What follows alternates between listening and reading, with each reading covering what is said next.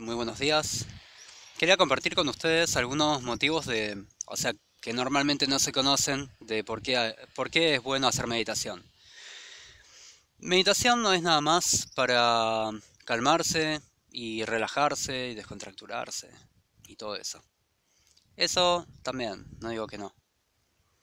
Pero hay muchas cosas detrás.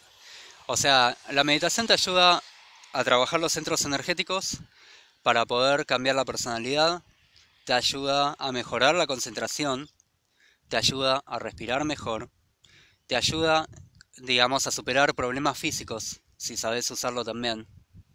De acuerdo a la, digamos, toda la, digamos, hay, libros súper antiguos de medicina china que te hablan sobre los chakras y te hablan también sobre, digamos, lo que representa cada uno, que es un centro energético que tiene que ver con las emociones y de acuerdo a dónde está cada centro energético puede repercutir en órganos vitales, en, en, en diferentes partes del cuerpo, en la cabeza, garganta, en el pecho. Eh, de acuerdo al centro energético que se esté tratando, puede tratar problemas de corazón, problemas de pulmones, problemas digestivos, eh, problemas de repente, eh, problemas sexuales, o sea que vienen justamente por los chakras que pueden estar demasiado abiertos o demasiado cerrados. Y entonces eso trae problemas también en la vida cotidiana. Y, y todo eso se puede arreglar desde la meditación. O sea, eh, y bueno, la base de todo eso es justamente la respiración de la meditación. Y después hay técnicas que se puede hacer con lo que sería visualizaciones. Pero eso ya sería, digamos, un poquitito más adelante. La meditación también sirve para trabajar todo lo que sería em, manipulación de energías de lo que es el plano espiritual.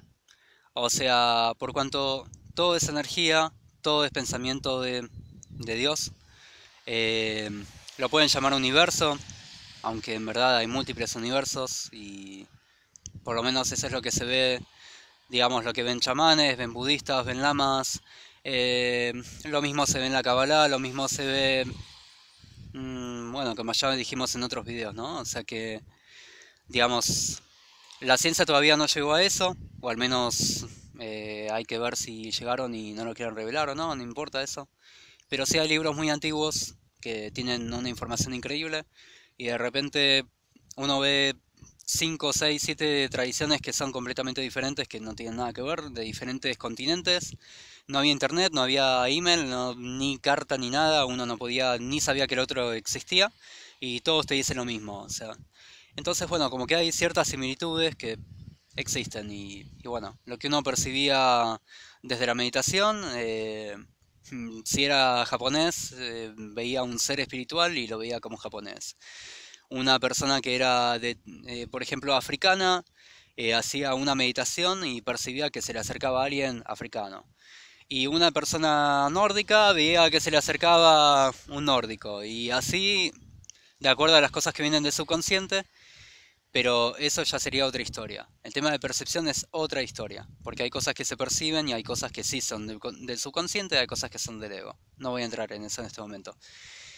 Ok, la meditación sirve para equilibrar los centros energéticos, mejorar como personas, mejorar la respiración y, eh, y también, digamos, para trabajar todos los principios de mentalización que se hacen, por ejemplo, desde la Kabbalah o, por ejemplo, diferentes técnicas de donde podés llegar a manifestar ciertas cosas en la realidad.